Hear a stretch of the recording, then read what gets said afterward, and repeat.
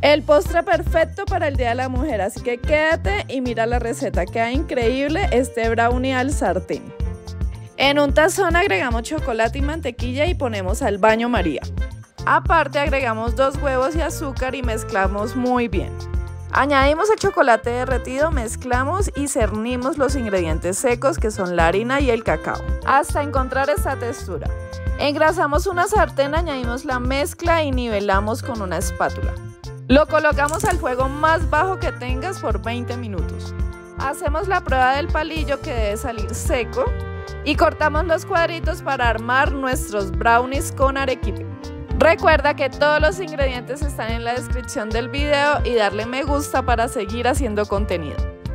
Opcional agregamos chocolate derretido por encima y nueces trituradas.